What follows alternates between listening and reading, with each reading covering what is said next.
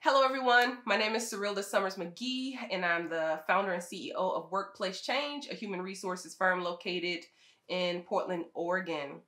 Welcome to Word on the Street. So, you know that we come and bring uh, really direct communication and conversation about the state of human resources with up to the minute, up to date, um, real life scenarios and examples and solutions to challenges that folks are experiencing. And today, we're going to be talking about um, the civil unrest that's happening in America right now and in the world, quite honestly, um, around the state of Black people in America. And so I wanted to bring forward um, two HR executives that I respect tremendously. They're Black women who have been unapologetically Black. And di- Blackness is not homogenous, is not monolithic we come in different shapes sizes we, we communicate differently mm-hmm. um and so do these ladies. Like they communicate differently than me but they are authentic expressions of themselves and black identity. And so i wanted to to welcome them to my home because everything's kind of shut down real mm-hmm. talk.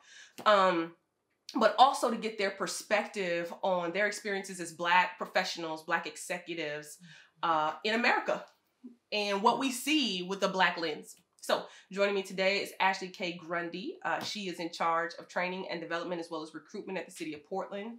Um, and I've known Ashlie, gosh, since Kaiser Permanente. We met at Kaiser Permanente. Yes. Um, and then from there, Ashlie went on to Willamette Dental and then to OHSU and then to the city of Portland. And now she serves on the executive team. I'm reporting into the Chief Human Resources Officer. So, welcome to Word on the Street, Ashlie. Thank you so much. It's great to be here. Oh, and then Tia Coachman. Uh, so Tia has been um, an HR crusader. I mean, just a revolutionary since I first met her long ago um, when her babies were super small.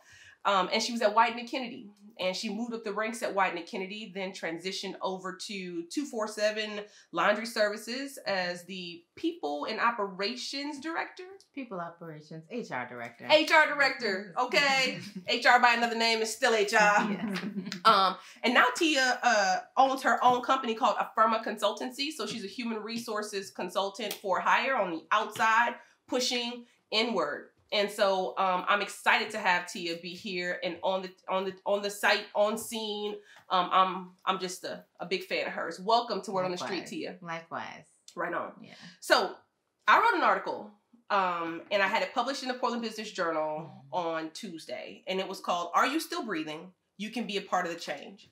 And basically, the focus of the article was on basically juxtaposing or seeing the similarities of the violence and oppression and aggression that black people experience from police um, but but basically showcasing that those same behaviors represent themselves present themselves in the workplace mm-hmm. and drawing on the parallels of um, of the experiences mm-hmm. and the reason why i felt it was super important to to draw on those parallels is because I saw the outrage that um, our white you know allies and partners and friends were um, expressing right like disbelief mm-hmm. that something like this could happen to uh, a black person they mm-hmm. can be treated in this way and i'm like okay i mean from the birder and we're gonna talk about Amy Cooper. Mm-hmm. Let's say say her name, yes. right? Amy Cooper, mm-hmm. and all the billions of Amy Coopers that we know. We're gonna get there. We gonna can we get we gonna get there.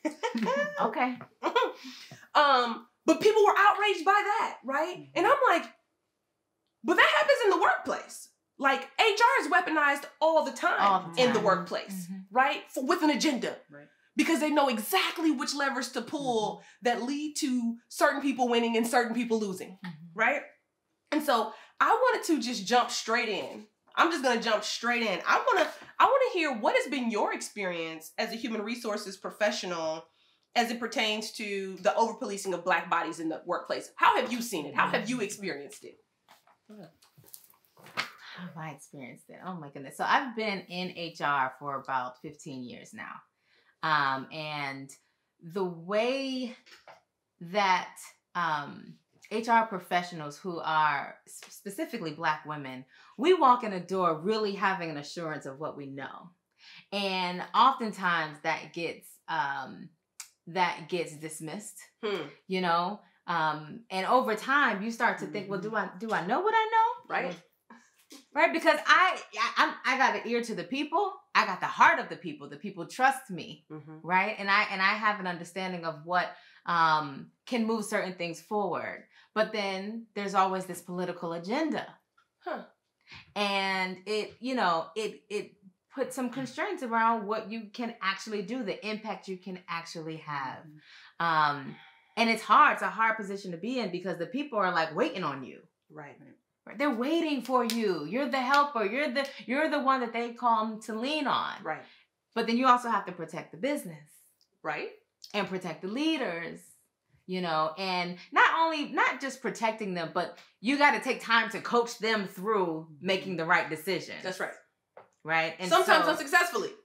sometimes unsuccessfully because Because they don't sometimes want, do what they they want to do. They don't want the coaching. Because we're consultants, right? Right. Not decision makers. Yeah, Right. we're not decision makers, facilitators, Mhm. facilitators of change. That's right. But other folks have to be invested in that change. That's right. Mhm. That's right. So you you made you made this this statement, this point, and that is um and that is people are waiting for you. Mhm. Right. They are leaning on you. They are you you engender a feeling of hope. Mhm. Why do you think that is? I mean, I know why, but I gotta ask you because you made the statement. Why do you think that is? Because I'm I'm taught I'm going around the organization saying I'm here for the people. right. And then how many people in there look like you? Usually. Not a whole lot. But I still gotta be there for everybody. That's right. That's right? right. And so if I'm if I'm making that that my platform, Mhm. I am here for the people, then the people have expectations of me. That's right. And when I make a recommendation about what needs to be done hmm and it gets shot down because you have an agenda, Right. then I have to answer to the people, Mhm. You do. right? And I, I mean, clearly, you also have to you also have to answer to your leadership, You do. right? And so that's the The balancing act. that's the balancing act. Right off. And there's psychological impacts there. As Oh well, my gosh, right? it's traumatizing. Right. It is extremely traumatizing to For know whom? that For for us, me as an individual, but also for the people That's right. who saw some hope Mhm. and then once again got let down. and got right? let down in your skin. In the skin, your they got let down not by the system because the system for minorities, especially for you know the system for Black people is a white system. Mhm. So when you come in and you're in the system, you're you're you're you're ingrained in it, and and then you talk to them and they see you're real Mhm. because real recognizes real, right? And you're looking real All day, familiar, right? every day. Right? So they see it and they believe it, and then you're unable to move the dial on that work. right. Mhm. Mm. It is traumatizing to you as a black exec because dang, I have failed a group of people who have been failed so many times. Mm. So Grundy, in in your in your world, how have you seen black body bodies be policed in the in the workplace?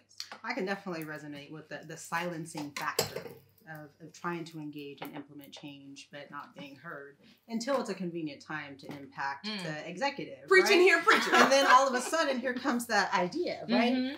That no one wanted to listen to. And for me, that has been extremely frustrating, Mm. uh, perpetually. And then also hearing that same story from many people who are coming, looking to me for solutions around right. how can I move my ideas forward? Mhm. How can I rise up? How can I grow when no one will listen to me until it's an appropriate time for them to make a change and for them to grow? So really being suppressed from promotional and growth opportunities, it's it's incredibly real. And in addition to that, seeing people who are doing the right thing, showing up for work every single day, but they're a human being. Yeah. And something happens. Someone can be driving to work and get a flat tire, Mhm. get caught for an attendance issue that their supervisor is just waiting for that Wait, moment. Just when they for when they wait Yes. for you to mess up. We were Mhm. when we were getting ready and we were drinking our wine and and having our Jack and Jack, like just getting just centered from a very hectic hard, hard week for this conversation. We were talking about how we've literally in human resources heard a person, you know, through investigation say, the staff will say, well, they said, you know, keep digging. We know she can't be perfect Right. right? Like like stop and frisk equivalents in the workplace. In the workplace. Like if I just keep digging, I'm gonna find a moment when you're not perfect because no one is perfect. Mhm. And then I got you because the consequence will be Right. swift, Mm-hmm. right? And unapologetic. There will be no mercy, there will be no grace. Unlike the people who don't look like you, where they get a lot of grace and extensions, you can see their humanity. Mm-hmm. It's fascinating to, to watch. Let's pivot really quickly Sure. to Amy Cooper. Mm-hmm. Oh, Amy Cooper. I hope you watch this. I doubt you are going to, but I hope somebody sends this to you. Actually, the world is talking about Amy Cooper at this point. in Yeah. True. Right? Mhm. And Amy Cooper was the woman who um, was a dog enthusiast. Uh, and she wanted her dog to run free because she felt like her dog had more rights and privileges than uh, a black man, apparently. Mm-hmm. And a birder, Harvard educated black man, was in the in the park, top of the morning, looking at birds in the ground and in the air. I didn't even know that birds lived in the in the ground. I didn't know that was a thing until Amy Cooper. So shout out to Amy Cooper. Um, I'm like birds birds are in the ground on purpose. Shout out for the lesson. Right? Like on purpose. So my man is sitting there and he's like, yo, dogs disrupt the bird's habitat, right? Right. And it's a it's a leash law. Right. So she flashes and she and he's attacking me and he's recording the whole thing. Nobody's attacking you. It was it was it was traumatic for me to even watch it because I I know like we've been watching this since before Emmett Till, Mhm. right? Mhm. Where literally when a person doesn't want to cop to, to something you know that they are perhaps doing wrong, they can they can weaponize and leverage a system that was built for them to to win and for black men to to lose, right? Right. And and they always expect for it to work in their favor. Okay. So when this happened and folks were like, I can't believe she did this, I'm like, my phone is teeming with group chats of black women. like, how many Amy Coopers do we know? So Mhm. let's just, can we just take a pause and talk about Amy Cooper? Have you ever seen an Amy Cooper equivalent in the workplace? Absolutely. What did, how does an Amy Cooper look in the in the workplace? Oh well, Amy shows up in all kinds of ways. Amy shows up in meetings. Okay, she shows up as your manager, threatened by the great quality of work that you Mm. are bringing to the table that they can't replicate. Um, Okay, now. I mean, Amy shows up in all the ways Yes. in the workplace. And um, some folks know and recognize the Amy and choose to ignore Amy. While others are stopped in their tracks because what can they do? What can they do? Mhm. You know? Um, they can't just start taking a picture, you know, start, you know, recording right. in the meeting. Mhm. Right. Well, now they can. Well, and, and, and it's happening. and it's happening. me. Oh, but it's all, it's been happening since iPhones were flat enough to fit in your pocket or Huh. in your, your your your notebook. There Mm-hmm. were moments in my career, Tia, to that point, where I know that if it's my word against a white person's word, Mhm. even in my power of authority, Mhm. If they say Serilda was aggressive, and do you know how many people to call me aggressive? Like I know I'm loud. I'm from Michigan. I, I got big gestures. I'm five foot eight. You know, I'm 175. Hair high. I got big hair. I used to have big afro. Right. uh, unapologetic afro, right? And um and so the, you know that was that was always very um stressful for me Mhm. to be in a room where people are um they could go and say something about me that wasn't true and it could end my whole entire career that I'd worked my whole life for, Right. Mhm. right? And follow you. and follow and, and it is gonna be forever Mhm. on on social media it, it- i could never shake it that was Mhm. always you know not only just the paranoia but it had happened so many times where i felt on defense of myself in a room where a person is saying i did something I'm like, i didn't do that and there was no way for me to justify so i actually have gotten to a place in my life where i'm like i feel right now like this conversation is taking a turn and i'm now going to record the conversation moving forward so that if you would like to move this forward to have a third party come and have a discussion about what has occurred, Right. they have an actual account of what occurred, Mhm. right? Mhm. That but that's the only defense mechanism that I have as a professional of color. So for to hear you say like you don't always have a phone, like that's all we have sometimes though Mhm.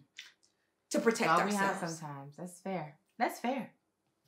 It's it's awful, right? The, the devaluing, And it's awful. right? The fact that that black people are devalued to the point that we feel like we have to record in the workplace at Mhm. times to to be heard, to be believed. But also think about the folks that witnessed the experience that you have or you had as an executive, Right. and thinking about if I grow, if I go into leadership positions within this organization, am I going to have that same experience? Mm.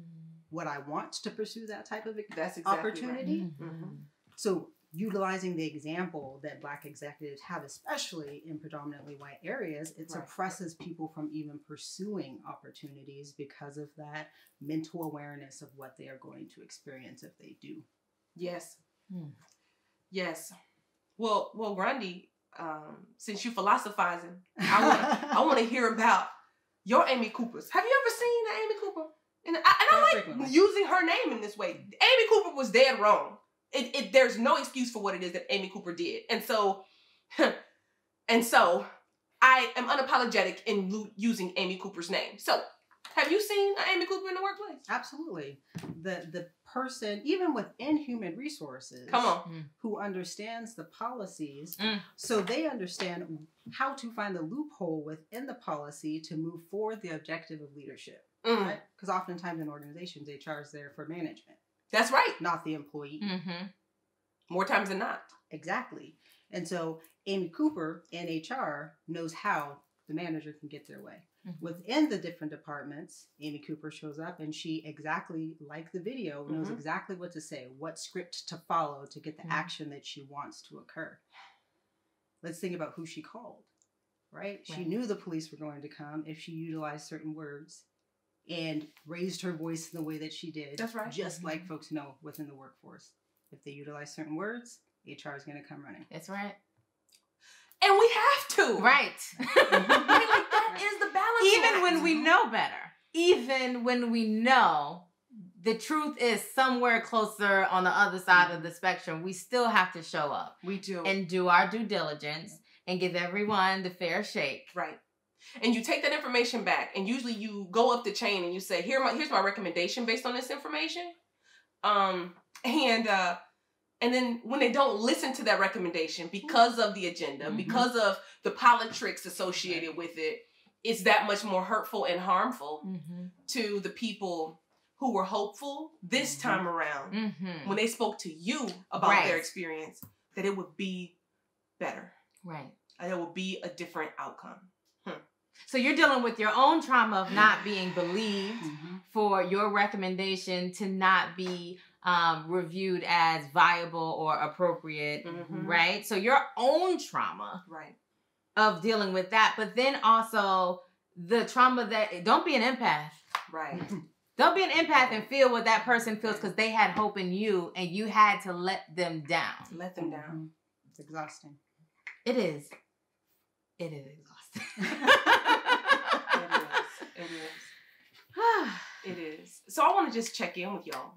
You know, as black women who practice the discipline of human resources, and you can see the what's this Chauvin? What was that cat's name who put his his knee on Cha- I think it's child. last name Ch- Chauvin? Mhm.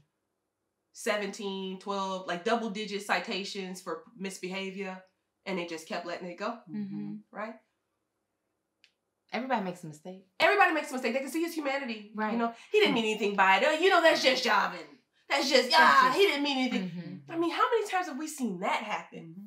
Where they excuse bad actors, where they excuse mean spirited people, bullies, when they excuse people who yell and ridicule and demean because look at their billable record. Right. Look at look at the things that they're able to create, that we're able to sell at this price point Mm-hmm. right? We Mhm. see it all the time. So I wanted to check in with you ladies. How are you feeling as a black HR executive who's who's been on the inside, who works on the inside, who continues to be a professional in this discipline?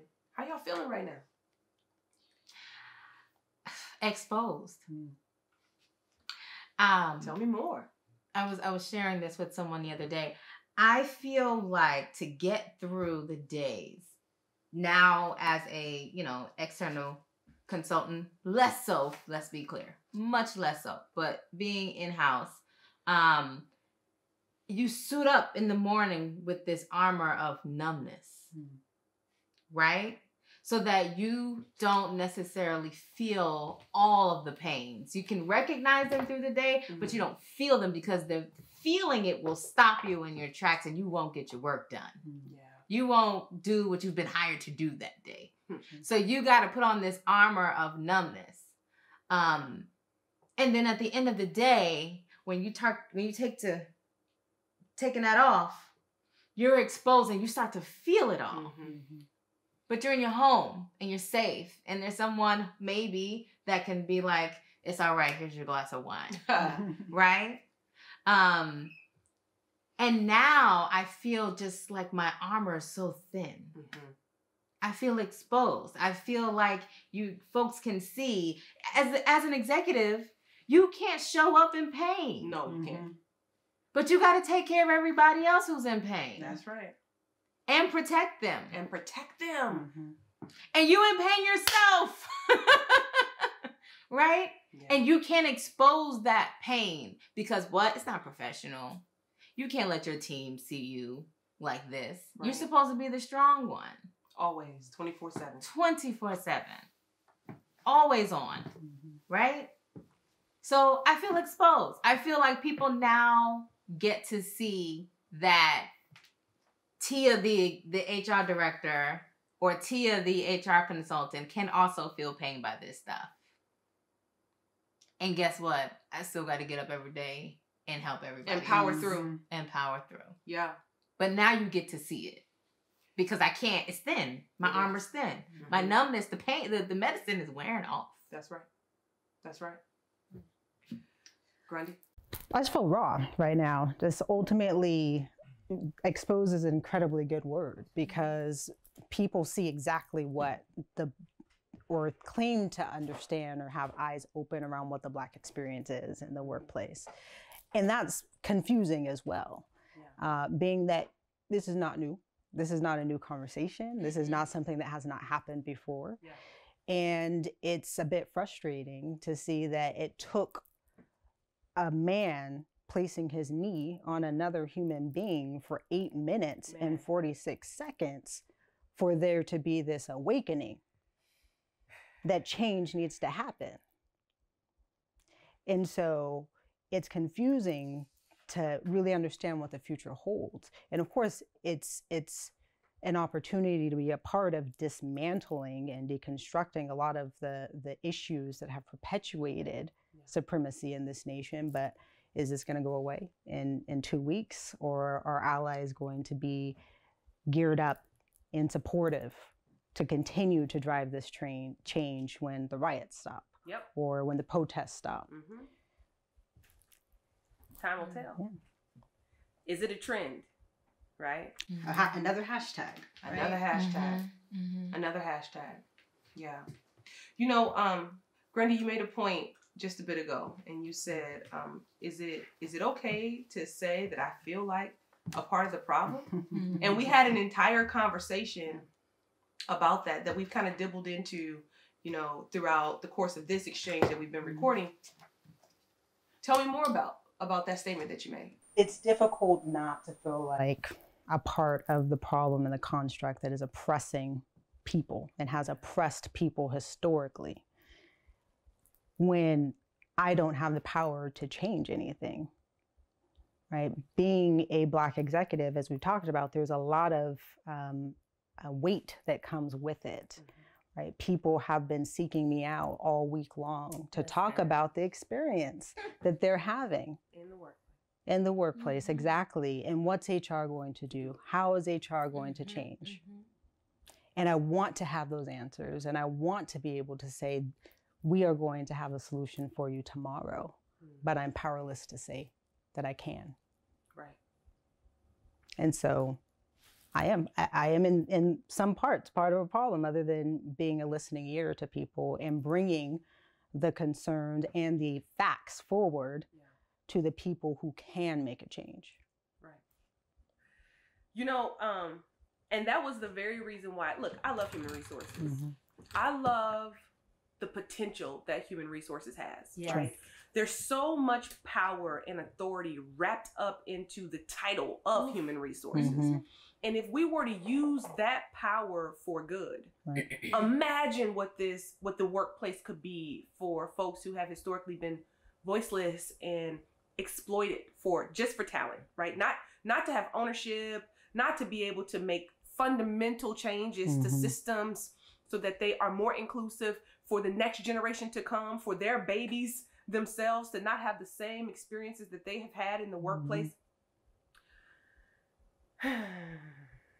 that is the reason why I went into HR was to have an impact. But once I got into HR, I I, I, I saw very quickly that it was it was the political ep- epicenter of mm-hmm. most most organizations, and the most effective place I have found to make an impact and and to influence change in organizations is from the outside. Mhm. Is when they're paying you top billable hour Mhm. Mm. to bring you in, and then they listen. And they What listen. The fact, you know what's, what's Mhm. crazy fascinating? So, that you know, there was a time where, where you know, as I was preparing, like, am I gonna go out on my own, or you know, um, am I just gonna stay and be an in-house HR professional? And I would literally, you know, hear myself giving advice to my current employer, and then be like, you know, they can't even hear it. They can't even hear the perspective, and then saying it to a client, like maybe maybe it doesn't make any sense. Let me try this with with an and you know a third party, Mhm. and then being like, genius. Listen, Don't get on here and tell my whole story. and, and, and it'll be like, this is insane to me. Mhm. On the inside, it's incredibly challenging to influence change as an HR practitioner and perhaps for other disciplines, but I'm an HR, you know, Right. executive. Because all of the politics associated with the organization are present. She's just trying to get more authority, more Mhm. power. She's just trying to take take take take out such and such over there. She wait a minute. I'm trying to stop y'all from hurting people. This, that doesn't have anything with me to do with me trying to take Jack's job. I don't want Jack's job. First of all, you know what? I'm I'm back off. I'm, I was about to go someplace. if I wanted Jack's job, I'd have Jack's job because I'm a Let's go for it. Right? Yes. We can tie all this back down to the bottom line, to the triple Right. line. We can do this. We this. can do this. right. But that is not our priorities on these people. People and culture, how they feel when they come show in the workplace, Yes. so that they can be the best versions of themselves. Right. And if they do that, then guess what? They're gonna perform better. Come on, Your Mhm. work is gonna be higher quality. It's gonna be in better demand. Mhm. all and the guess what? You're gonna get all this money. I got you on the money. Take care of the people. Listen to me. They wouldn't hear me on the inside, so I went to the outside. And you know what? They listen now, and Yeah. that, I mean, I'm not, I'm not like I, we have to have people on the inside. Right. So I'm not saying flee HR, Please. but I am saying that if you feel like you have a calling Mhm. to do more and to bring more to the Yes. conversation, then they're willing to hear. Yes. Then there are other options out there. You Yes. you're not trapped and you're not stuck. There are other options. Let me just Hmm. super sidebar. I want your opinion on this. I'm super upset with SHRM. Mm. SHRM has been like from COVID to to the to that crying out of black people, Mm. SHRM's response has lacked luster. It has demonstrated why human resources is a is a fundamental part of the problem. Right. And I just want to say, like, I have I've always had so much respect for SHRM. Like Yeah. SHRM is the preeminent entity for a discipline that I have dedicated my Mm. life to. Right. And for them to show up as they did for black people, I am. I it's more than di- disappointed. Like I'm disgusted to a Mm. certain extent. You know what I'm saying? So anyway, we've been lamenting for a little bit here. Okay. So now, um, I want to get to possible solutions. And again, these aren't all the solutions. This isn't, you know, this is a comprehensive. If you want comprehend a comprehensive solution plan for your ecosystem, uh, you can call Affirma Consulting you can call workplace change. Um and our squad will be deployed Mhm. immediately to help Right. you actualize real workplace change. I named my company workplace change for a reason. Right. i want to see workplace change happen so people who look like me can stop being traumatized. So in the article that i referenced um, um a bit ago from portland business journal it's also um linked to this video um, I talk about five solutions, right? Like there are parallels. There are parallels to Officer Ch- Chauvin or whatever his name is. He had been in trouble several times, and the system did not discipline him and get him back in line or transition him out. He was Mhm. able to harm people, and God only knows how many people he got to Mhm. harm. Just that day, he happened to kill someone. Mhm. And there have been Amy Coopers in the workplace, and you allow that trash to continue to just keep moving forward as if Mhm. you know, it's not hurting you today. So therefore, there's no problem. Mhm. And that's not acceptable. HR's got to act. So I came up with five ideas. I would like to hear your your feedback on it. I mean, uh, r- real talk. Like, Mhm. if y'all got something, if I miss one, if you feel like let's pivot it to real, to let's talk about it because I'm about change, Okay. right? So number one, to address these systems of oppression and these problematic behaviors that occur in the workplace, I said you've got to address bias and and gossip gossip and bias, bias and gossip. In the epicenter. I think I call it that. I'm like, oh, I call them gate gateway The drugs. gateway drugs. gateway drugs to Yeah. dysfunctionalism and Yeah. an unhealthy work environment. What do y'all think about gossip and assumptions that are happening in the workplace? Perception is everything. Exactly. Perception is reality. Perception is reality. And so if you have gossip running rampant in your organization, you are you are uh, uh, coloring a picture that may or may not be true about someone. And we are talking about their livelihood. Their livelihood forever. right? We're talking about even in some cases their identity. Come on. right? Because I am a designer or I am a whatever, right? They you're an HR executive. You live and breathe HR. And then if there's gossiping about your your ability to do what you know you are put here to do, that we can't like we we we have to squash it. These workplaces cannot be high schools. Can you hashtag that? Cuz you got to go through high school to get to these jobs, okay? So we can't we can't revert. We can't revert back. So I'm so glad that's your number one. Number one. Grundy, how you feel about gossip and assumptions? I'm thinking about the thematic gossip, just generally speaking, Mm-hmm. Thinking about the stereotypes applied to people of color, black Aggressive. folks. Exactly. Black folks are aggressive, I they're difficult to afraid when I went manage. to her. Exactly, exactly. And how it it closes the door for more to come in. Absolutely. Right?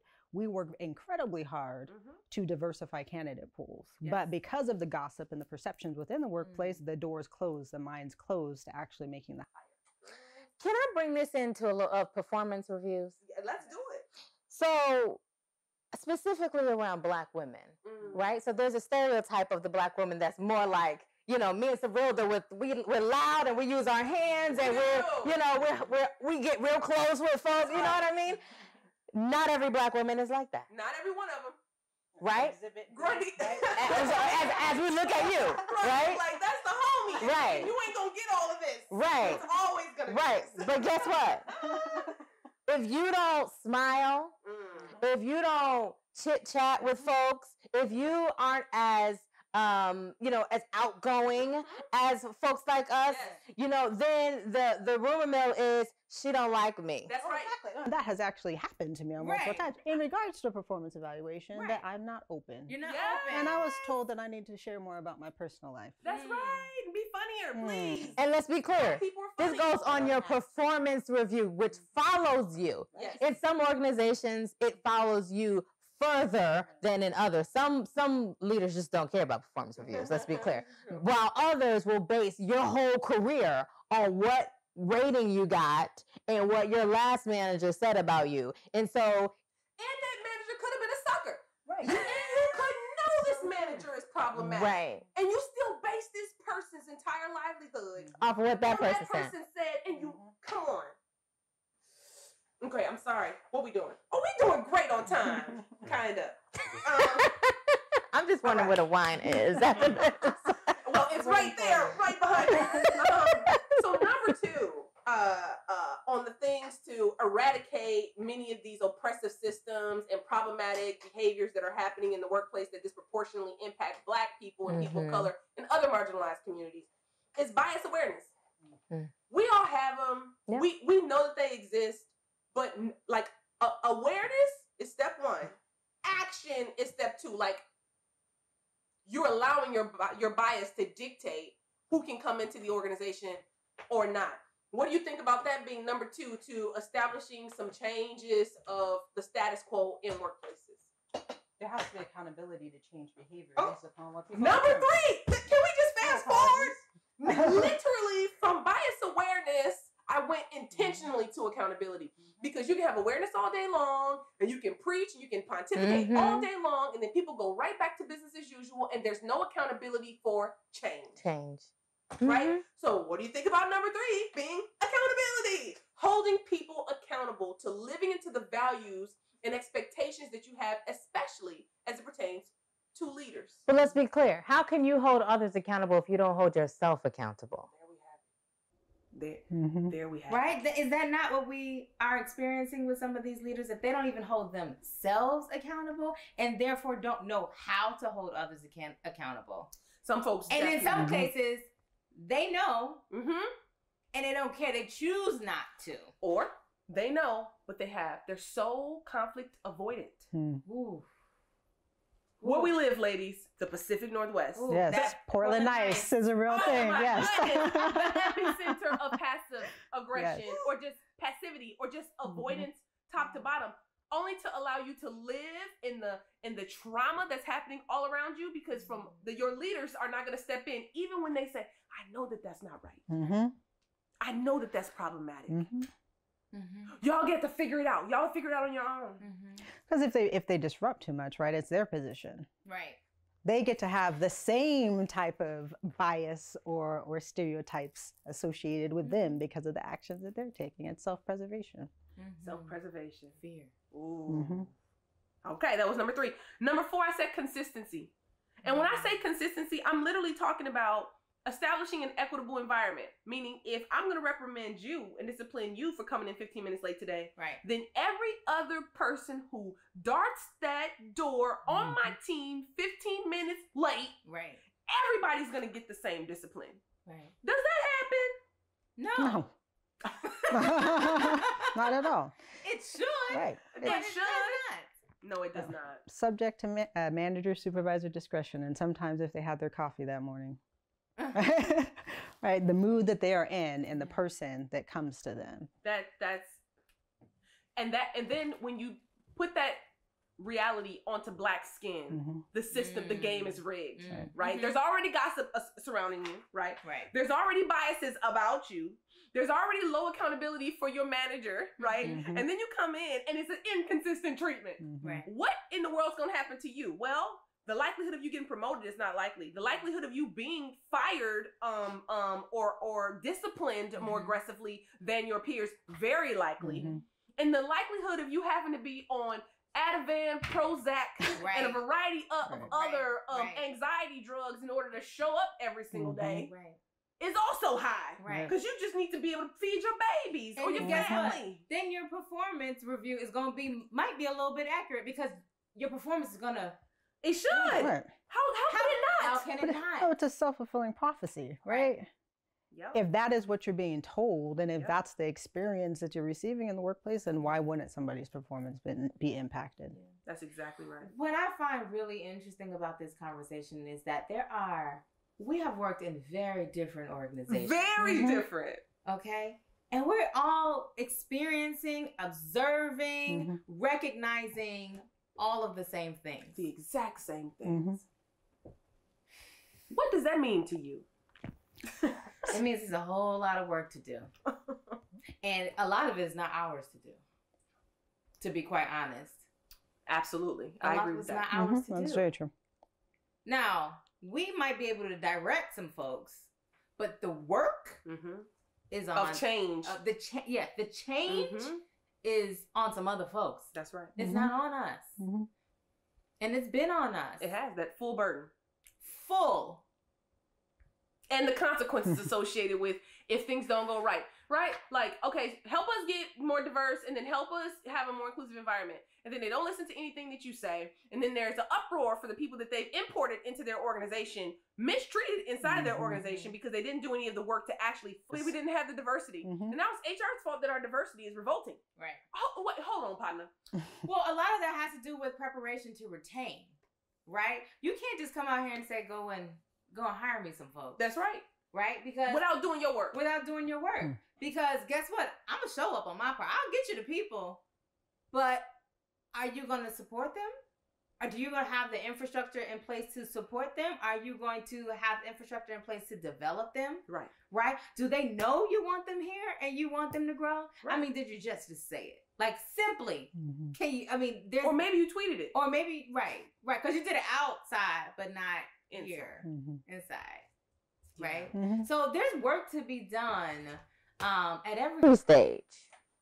At every stage of this employee life cycle. It really is. Absolutely.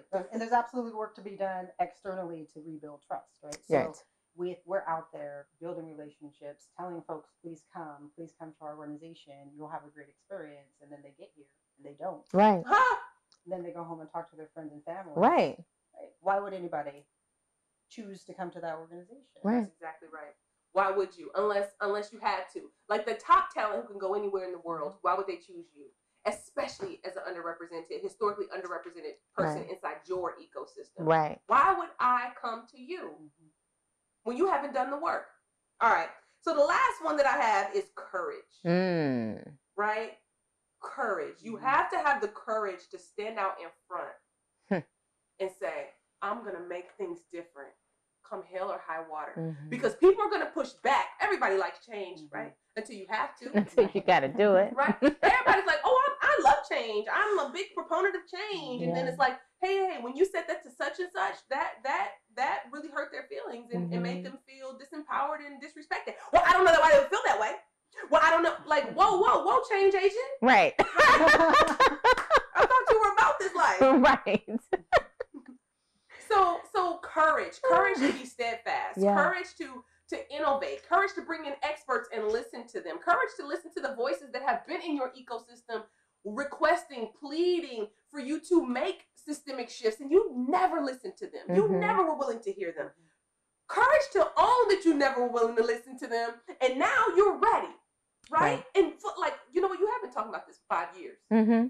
Susan, Right. my bad. You you're right Right. Let's talk about what your plan is and, and how we can empower you to activate that plan Right. or get experts to come in to fortify you in, in implementing that plan Right. right so courage was the last one what are your thoughts about courage being the final the final piece of this puzzle And there's a there's a storm, a massive storm storm to weather right now. So Yeah. it Mm. must continue. People, we have to be ready and be courageous to be steadfast right now. And to your point, listen to people, listen to the voices of others, especially leaders. It is not up to us to make a decision in a vacuum. Yeah. It is up to us to listen, to respond, and to be objective and to be innovative and not to look at what we've always done right now. right Right? It, it's the natural tendency to resort to the status quo. But now is the easy. opportunity. Exactly. It's Mhm. always easy, right? It doesn't build muscle. Mm-mm. But now's the opportunity to really do something different and to stretch our minds, to be courageous enough to to say what what we're thinking, even though Mm. it may sound completely and totally different than what our peers may have heard before. Now's the time to be courageous to to to think about the impossible. Mm-hmm. i love it How you follow that? Good goodness. Um, you know, to me, courage is the flip side of of ha- of being full of fear, Mhm. right? Fear of admitting that you could do this wrong. You know, you cannot get this right, right? And still doing it anyway. Right? Courage is to me the the um what comes when you are empowered and that's why when we when I, whenever we're, i'm talking about accountability i'm always talking about balancing it with empowerment. Right? Because you know someone has to move in order for you to hold them accountable to it. So give them what they need to move. And a lot of a lot even it's not just about giving them what they what they need but as for your own self doing the work where you feel that you have the capacity to do it. Yeah. right? Doing that first internal work to say okay i i can stand up for someone else because i understand their experience because i've done my work in researching mm-hmm. how you know how these things can unfold for them. Mm-hmm. You know? So do your own work first. Do that first. Mm-hmm. Then find ways to balance empowerment and accountability in in any in any every situation. Um and courage will show up So, ladies, I want to thank you for joining me for this um, cathartic conversation. Like Yeah. this has brought some serenity into my spirit. Like I have been anxious at times, overwhelmed, trying to figure out like what do we do in this moment? How do we coach in this moment? Because this moment matters so much. Mm. It is so important that we do right by this moment that we're in. Yeah. And so I want to thank you for watching Word on the Street. I want to thank you for listening to Tia Coachman with the Firma Consultancy. Um, she's the owner operator of it, and she is an HR savant. Uh, she's been on the inside as an HR practitioner for a long time. Okay, she's seen it all, and she's bringing the best practices and and and helping to untangle and unweave the worst practices that exist out there uh, to help you become a stronger and better organization. Ashlie Grundy's still on the inside for now. um, but but but Grundy, I thank you for coming into the show just to um to share your perspective because what I love most about you, amongst many things, is uh your your big brain and and how you process information to get to very impactful, um, thoroughly processed uh, and and and you know assessed and triangulated solutions for people. So keep doing that good work. Keep doing it at the City of Portland. I love what you're doing at the City of Portland. I love what the whole team, not just be. I have a little bias, right? I used to be there with the team. The team worked hard to, to change systems that have existed well before we were there, and that will exist well after we're there. So keep doing that great work, and thank you for your contributions to this conversation today. Thank you. Um, my point in closing is that what happened to George, to Ahmaud, to Breonna, to uh, um, you know, with Amy Cooper, um, those moments happen in the workplace as well, and I need you to see the parallels. I need for you to be as outraged about what happened on the streets to um, people just living their lives, just going for jobs, just you know, going to the to the corner store, just sleeping in the bed, Mm. um, and just bird watching.